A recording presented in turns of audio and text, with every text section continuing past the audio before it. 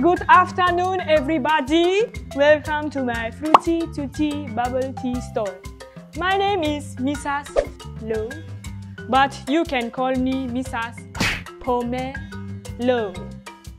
I come from a family with three other sisters, and we all love fruits. We are crazy about fruits. And you? Back in our garden, we have so many fruit trees. Jackfruit tree, mangosteen tree, and even durian tree.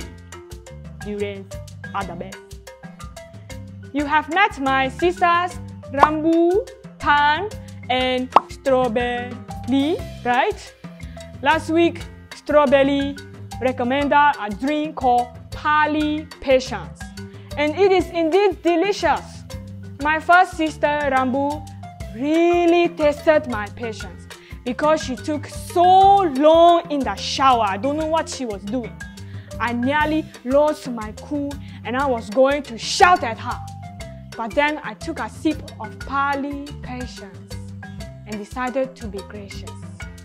So I waited patiently until it was my turn to use the bathroom. Thank you. Let's continue to build better relationships with our family friends by showing patience. Anyway, today I have another Fruity Tutti bubble tea recommendation for you. Are you ready? It's the best. Today's drink is called Frothy Faithfulness.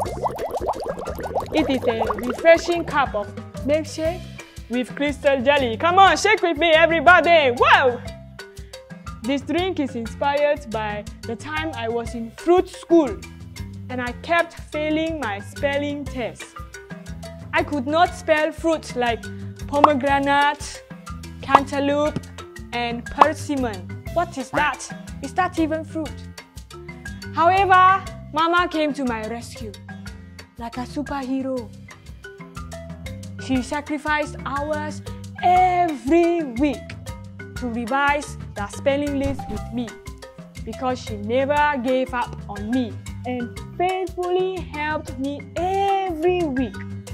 I became first in class for spelling. Thank you, thank you, thank you very much. And now I can even spell tangerine backwards. Can you? Ah. From that incident, I learned what faithfulness is.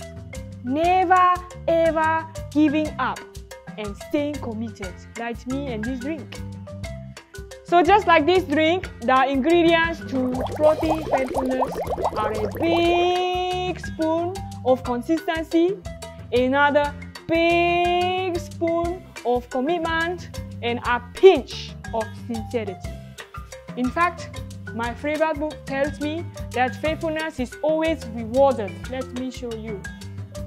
It says here in Matthew chapter 25 verse 23, You have been faithful with a few things. I will put you in charge of many things. Come and share your master's happiness. This means that we can start being faithful with the small things like packing up our toys there will come a time where bigger and greater things will be entrusted to us. That is why faithfulness is also a fruit. Did you know? Fruit of the Spirit, of course. You must go to fruit school. Oh, let me take a call. Delivery order 100 cups of frothy faithfulness to send to the cleaners Okay, sure, yeah, no problem. Okay, bye bye. The cleaners are faithful people. They always keep our office and school clean.